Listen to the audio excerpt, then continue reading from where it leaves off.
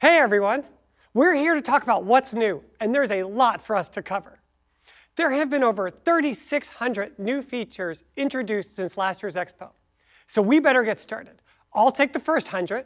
Okay, and then I'll grab the next 100 and see how far we can go. Maybe that's not going to work.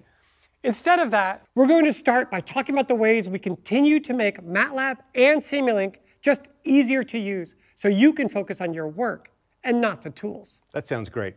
And then we'll talk about how you can do more robust software development as you take your designs into production.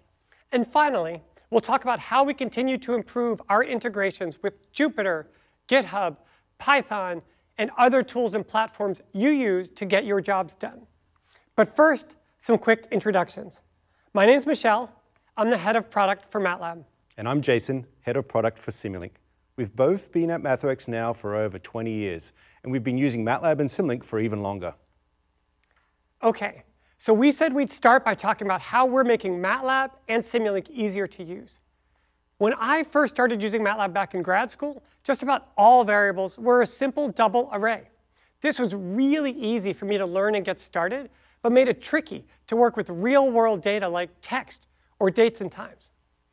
Let me show what I mean. Okay, so Jason, what do you think this number represents? Hmm, is this the number of features released since we both started at MathWorks? That sounds about right. Yeah. but actually, this is how I would have had to represent today's date using MATLAB back in the day. Maybe not so easy after all. Of course, now I just use date time arrays. They display like dates, but compute like numbers.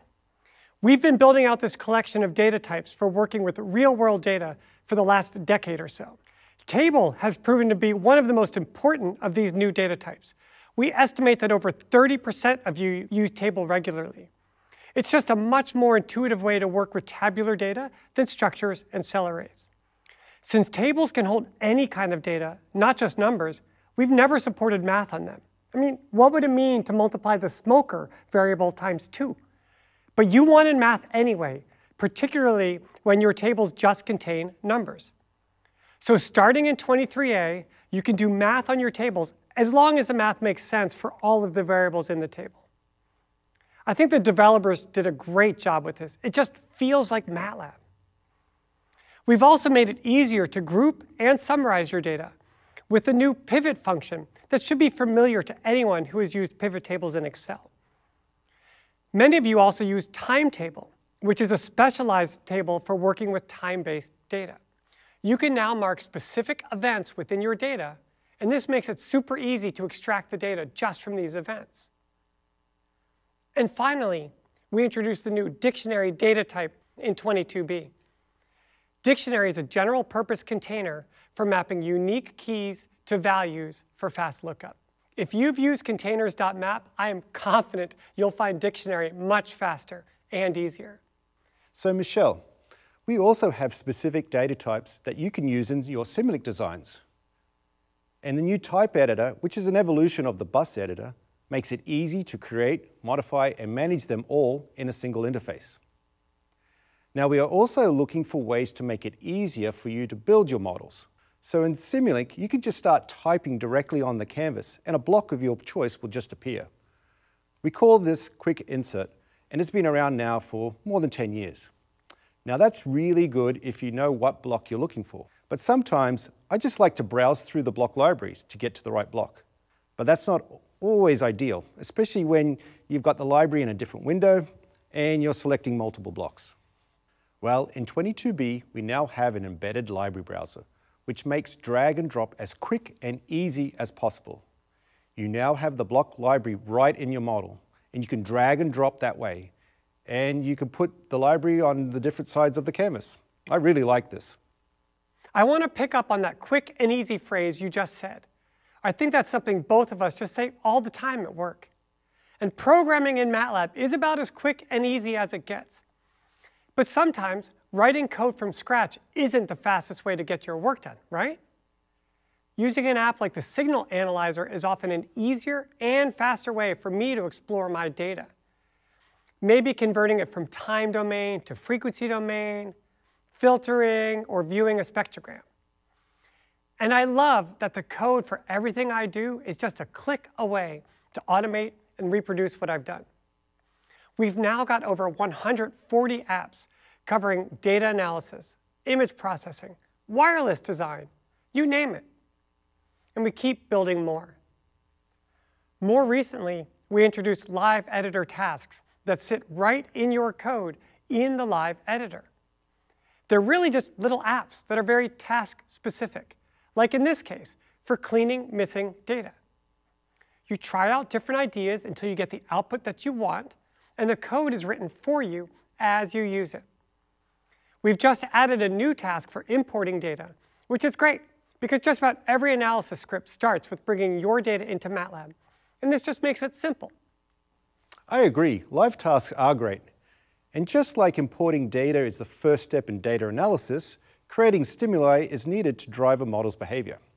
So we added the create signal live task. That lets you create input signals interactively with this low code workflow. This is so nice. Okay, so we've talked about apps and live tasks that come with MATLAB. We build these to support the most common applications we see across all MATLAB users. But we know there's nothing better than an app that's been built for your exact work with your exact file formats and your exact analysis. App Designer is a great platform for building and sharing these types of custom apps in MATLAB. And since 22A, you can also create your own custom live editor tasks. Now, sometimes I just want to share a script with somebody without taking the time to write an app. But then I spend a ton of time writing up directions like, oh, go change this variable, but make sure you don't make it too big or too small, because then it won't work. Now, instead of doing that, I just replace the variables with live controls in the live editor. And it's just like they're using a little app, and it's foolproof. In fact, if you hide the code, it actually looks just like an app, even though it's still a script. And there have been some nice refinements to this over the last year or so. We line up the controls so everything looks a little tidier, and added a few new controls, including this file browser. Michelle, I really like our updates to our low-code approaches. I would like to now jump back to the Create Signal Live task that I just mentioned a few moments ago. Now that I've created a signal, how do I easily use that in Simulink? Well, the new playback block is a convenient way to do it. This block lets you import signals from files or from the workspace and use in your model.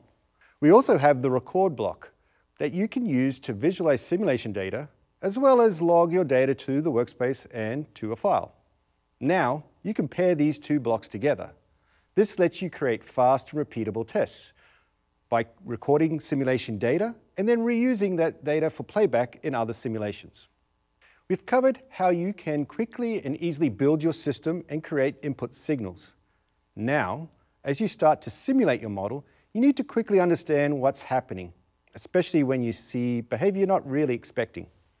What you want to be able to do is step through a simulation block by block, just like you do when you debug your MATLAB code. And guess what? With this latest release, you're able to do just that. In the new Simulation Debugger, you can set a breakpoint on a specific signal and step through the simulation one block at a time. It works seamlessly across your whole model, whether you're stepping through MATLAB code, transitioning through some stateflow charts, or iterating through subsystems you can understand what's going on and get to the issue as quickly as possible. Fast debugging is important, but I'm sure you appreciate fast simulations too. We've been working really hard over the last 15 years to ensure that whatever you build in MATLAB and Simulink is also performant when you run it. We've developed many features and capabilities to help you speed up your simulations. For example, I really like the Performance Advisor as it analyzes the model I'm currently working on and tells me exactly what I need to do to make that simulation go faster. A new area we've been working on is improving simulation performance for large system models that have a wide range of dynamics associated with them. For example, you might have a mechanical system that has slower dynamics when compared to a high-speed electrical component. Previously, Simulink would just use one solver for the whole system. So we introduced local solver support so you can apply the right solver for each component of your system. And by doing this, you can really speed up the simulation. So yeah, let's talk performance for MATLAB. I've heard from more than a few of you over the years that you'd like your MATLAB code to go faster. And we've made incredible progress since we started just-in-time compiling all MATLAB code in 2015. The overhead of calling functions and function handles was significantly reduced in 23A. I saw benchmarks in the release notes that showed them 1.6 and 40 times faster.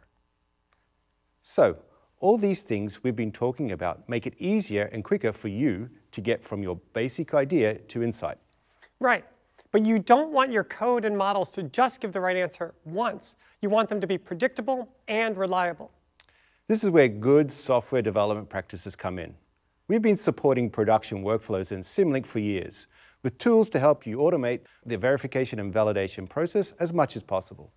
And we've seen a strong interest in the same for MATLAB, like building and deploying an app to measure vehicle performance, integrating a risk model into a cloud or enterprise system, or deploying a signal processing algorithm to an embedded processor. These production applications all require high quality software.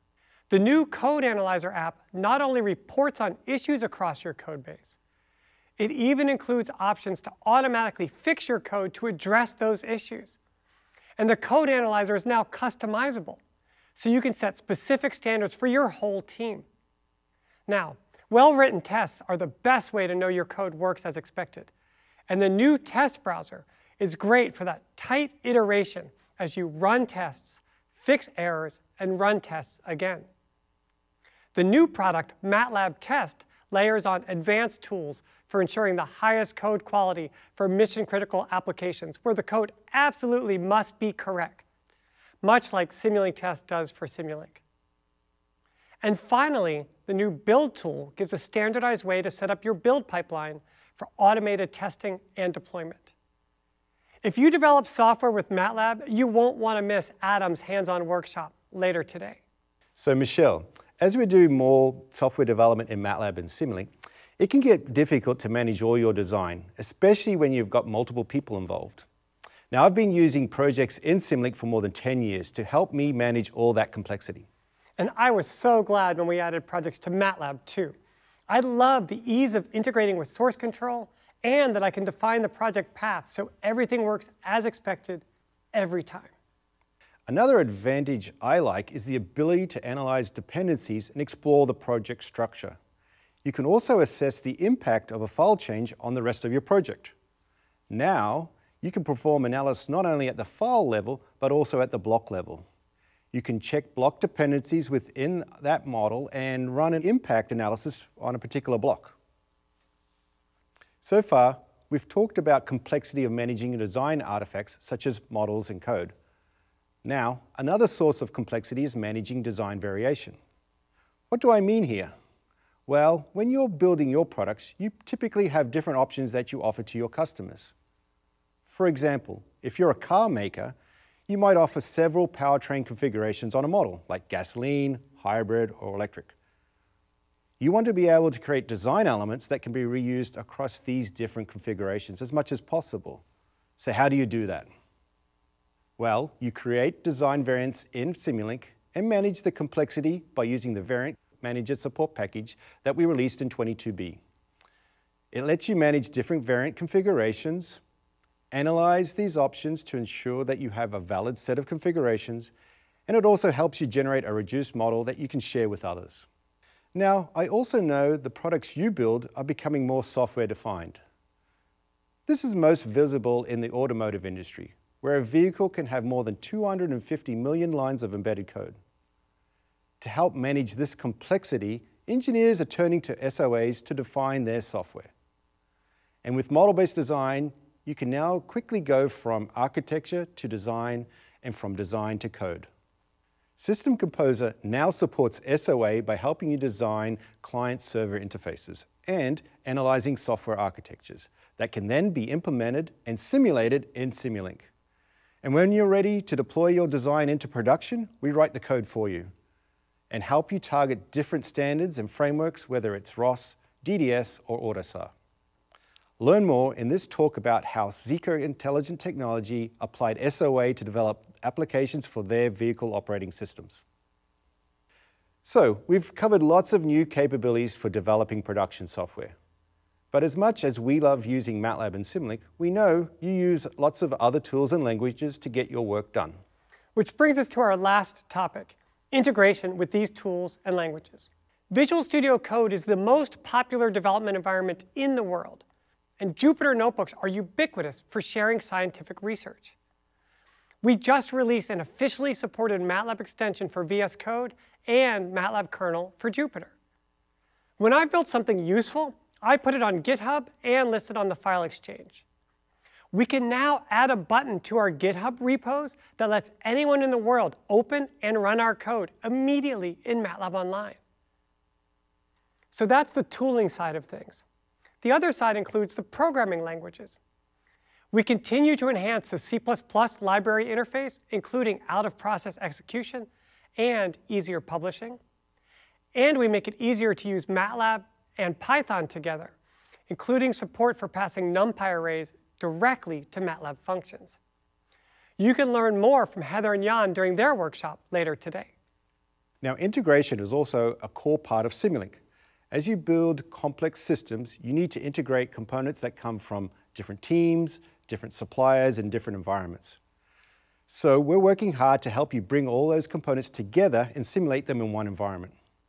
Over the last few releases, we've built out many capabilities that enable you to directly bring in external components such as functional mockup units.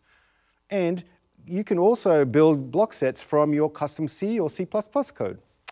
Well, in 23A, we've used that same approach to help you directly integrate Python code.